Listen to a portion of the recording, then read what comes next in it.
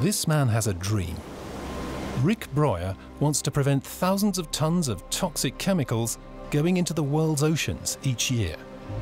From pleasure craft, cruise liners, tankers and container ships. And he thinks he knows just how it can be done. By using a kind of fibre carpet for the boats. Not to make their cabins more comfortable, but to provide a protective coating over their hulls. The invention by Dutch materials scientist Rik Breur sounds bizarre, but it's revolutionary. Because his fibre wrap prevents so-called biofouling, the colonization of ships' hulls by marine organisms.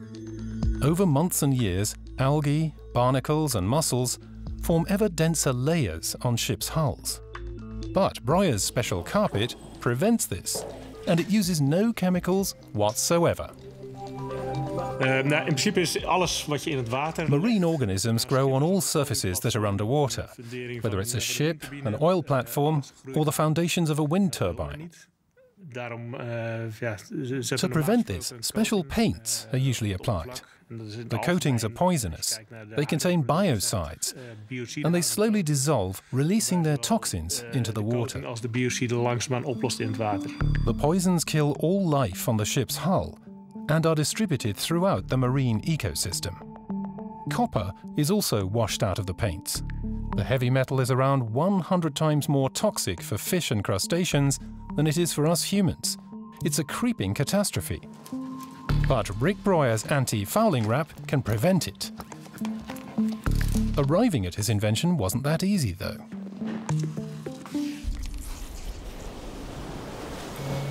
It was out at sea that the Dutchman suddenly had the decisive idea. A keen diver, Rik Breur knew that marine organisms clung to the shells of crabs and mussels. Their smooth surfaces seemed to make this possible. Sea urchins, on the other hand, were free of algae and the like. Their spiky surfaces seemed to repel potential settlers. So Breur tried to develop a material that would mimic those spiky surfaces found in nature. He decided to use nylon fibres as spines, arranged on a substrate like small needles. But how could his idea be realized.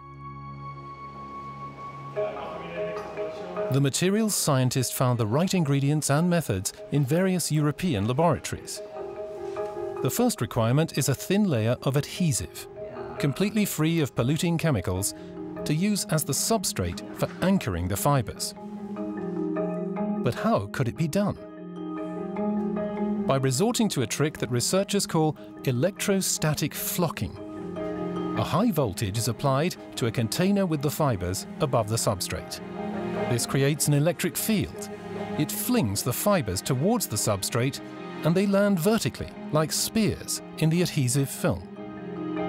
As soon as the glue has set hard, the anti-fouling wrap is ready for use.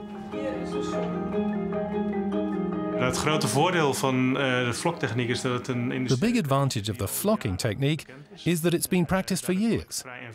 This made it easy for me to create different variations in the lab regarding fiber length, thickness and density. I could experiment a lot and then put the best version relatively easily into commercial production. Of course, it had to be guaranteed that in rough seas, at speeds of 30 knots or more, the fibres wouldn't fall out of the anti-fouling wrap and pollute the oceans as microplastics. That's why the blade moves across the material thousands of times over. The wrap mustn't lose even a single fibre. The adhesive that fixes the wrap onto the hull was also a challenge. It now lasts for a guaranteed five years, far longer than any anti-fouling paint. At last it's ready, the self-adhesive fibre wrap that prevents biofouling without any need for toxic chemicals. Breur calls it Finsulate. Finsulate is toepasbaar voor jachten. Finsulate is primarily intended for yachts. Boat owners want environmentally friendly products that are non-toxic. But it's also suitable for large cargo ships and ferries. The material could even result in fuel savings of up to 40%. That's a lot of money.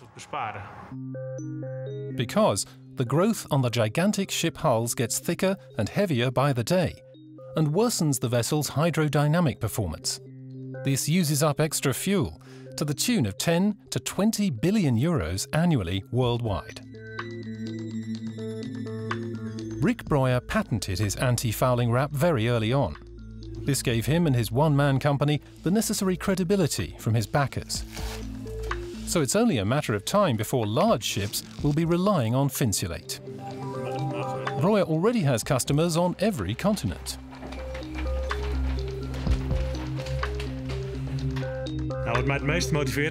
I really enjoy the fact that a solution to a problem in society can be found through creativity. And that's my biggest motivation. And over years of evolution, nature has already solved all kinds of things that we humans can learn from.